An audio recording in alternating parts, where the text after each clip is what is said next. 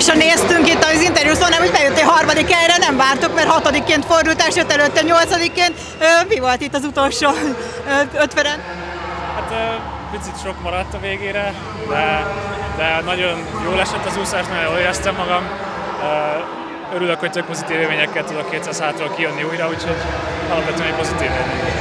Közben megnéztük ugye Kapás Boglárka futamát is, és hát van családilag még egy harmadik hely.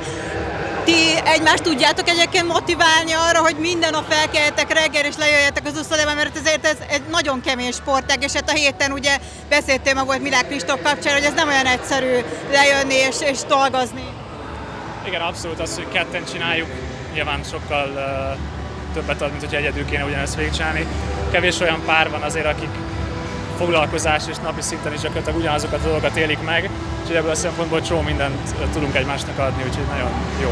Mennyire dobott fel itt a döntő előtt, hogy a férje Telegdi Ádám, hát egy iszonyat jó hajrával bejött a harmadik helyet, mindenkit nagyon meglepett. Igen, engem is meglepett, és nagyon-nagyon büszke vagyok rá. Hát nagyon szurkoltam neki ott a lászkorunkban ültünk a csajokkal, és már így felálltam, és ugráltam meg, minden, mindenki nevetett rajtam.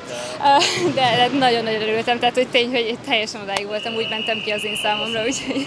Egy kicsit nyugodtabban szurkolt neked itt, mert megvártuk nyilván a futamodat, mielőtt interjúztunk volna, de hát nagyon örült nyilván annak, hogy te is bejöttél a harmadik helyre. Azért ez kötelező is volt valamilyen szinten ezek után, nem? Igen, így bejött harmadik, és úgy, úgy is jöttem ki onnan lászkoromba, hogy mondták, na akkor ezt most le kell más.